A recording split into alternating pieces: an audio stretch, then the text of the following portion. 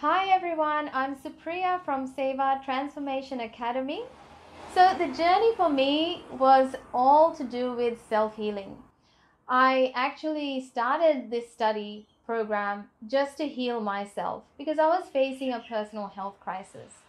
The changes I experienced were lifelong. It changed my daily routine immensely.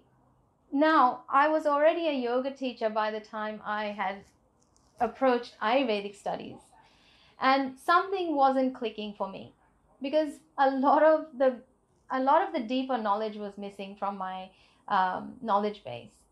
So what Ayurveda did for me is helped me transform the way I was questioning things, the way I was doing things, and really helped me understand myself on a very deep level. Now what I do with my job is I help people make the same changes.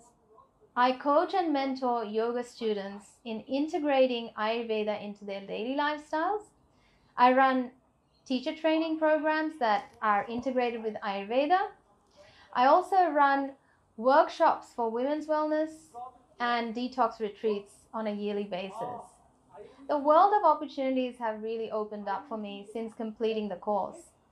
And it's not just limited to a clinic based practice, which is something I learned quite recently. I highly recommend the AIHFE course for anyone that wants to grow themselves as well as make a real change in someone else's life.